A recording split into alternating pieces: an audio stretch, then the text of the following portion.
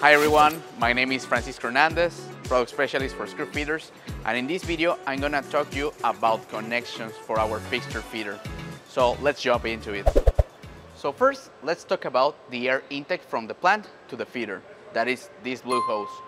We can have from 4 up to 6 bar on the internals of the feeder to control when we're blowing the screw and the displacement of the bead stroke head stroke unit. Next one are these three cables the black hose, our screw hose for the fixture tightening module, and this black cable. These two cables go together into our valve control unit to do all the logics from pneumatics for the bead stroke. Speaking about the fixture tightening module, we have these two hoses connected to the valve control unit to perform the operation of the bead stroke displacement.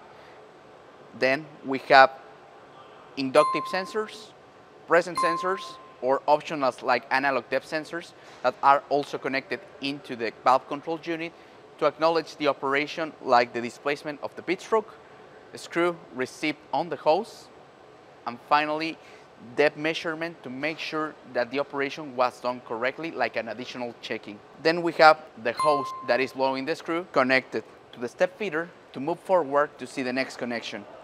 That is this ethernet cable connected to our PLC to manage the entire logics and operation from the PLC to the feeder. Everything in the tasks that the feeder is doing is being controlled by the PLC from blowing the screw, moving the bead stroke, confirming the fastening, additionals like the analog depth measurement are being controlled by the PLC. Next to it, we have the power cable for 115 volts, 60 hertz.